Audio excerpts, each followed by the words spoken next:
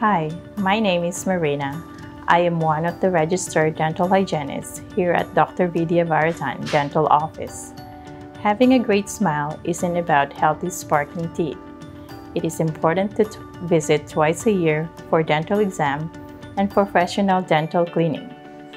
The thorough teeth cleaning you receive at your dentist's office is not something you can duplicate at home.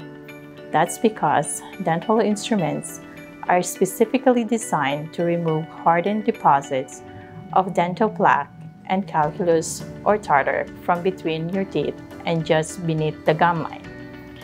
This calculus or tartar can inflame your gums and lead to oral health problems, even tooth loss. The first thing your dental hygienist will do is when you're comfortably seated in your dental chair is to ask anything has changed since the last time you had your teeth cleaned. For example, have you noticed any bleeding when you're brushing? Have any of your teeth become sensitive? Are there changes in your medical history? Are you taking any medication or dietary supplement? If so, it is important to let your hygienist know. If your dentist required x-ray, they'll be taken with your consent. Now it's time for clinical exam. Your hygienist will screen for oral cancer and assess your general oral health.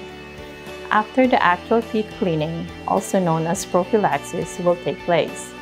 If your teeth are sensitive, your hygienist can apply topical agent in the beginning of the cleaning process.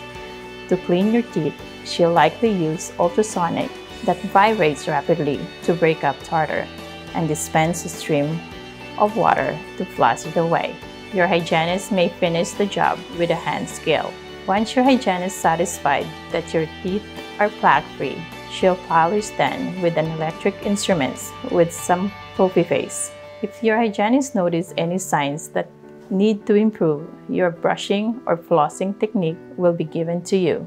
This visit is all about disease prevention and keeping your natural teeth for as long as possible.